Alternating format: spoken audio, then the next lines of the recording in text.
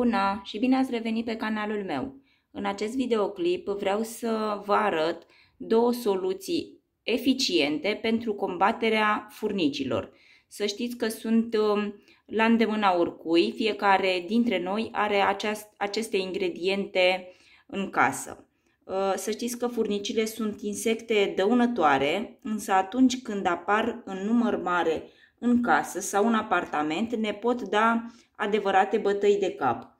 Există numeroase soluții simple pe care le ai la îndemână pentru a scăpa de furnici, iar unele dintre ele le putem face chiar noi, cu unele ingrediente din casă. Una dintre ele este usturoiul. Uh, așa, să, așa că trebuie să știți că preparăm o soluție uh, din usturoi.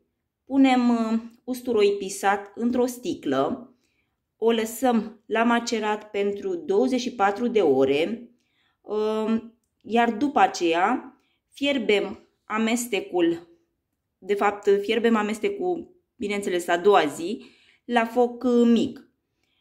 Turnăm apoi soluția într-un pulverizator și stropim zonele unde sunt furnici. Furnicile vor înceta să mai apară, deoarece usturoiul nu este preferatul, nu este preferatul lor.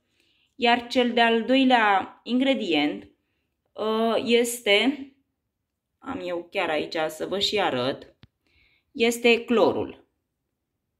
Deci, primul este usturoiul, iar cel de-al doilea uh, este clorul. Să știți că clorul este un, uh, practic, uh, se folosește ca un insecticid destul de puternic, se folosește o parte apă, o parte clor.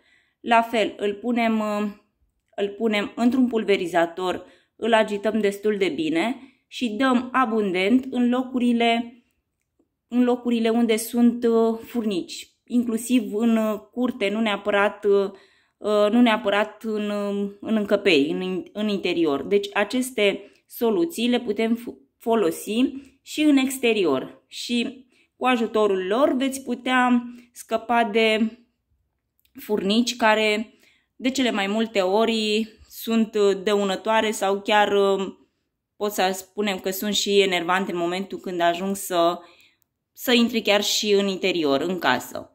Așa că eu vă mulțumesc că m-ați urmărit încă o dată și vă spun la revedere cu multă sănătate și cu spor în toate.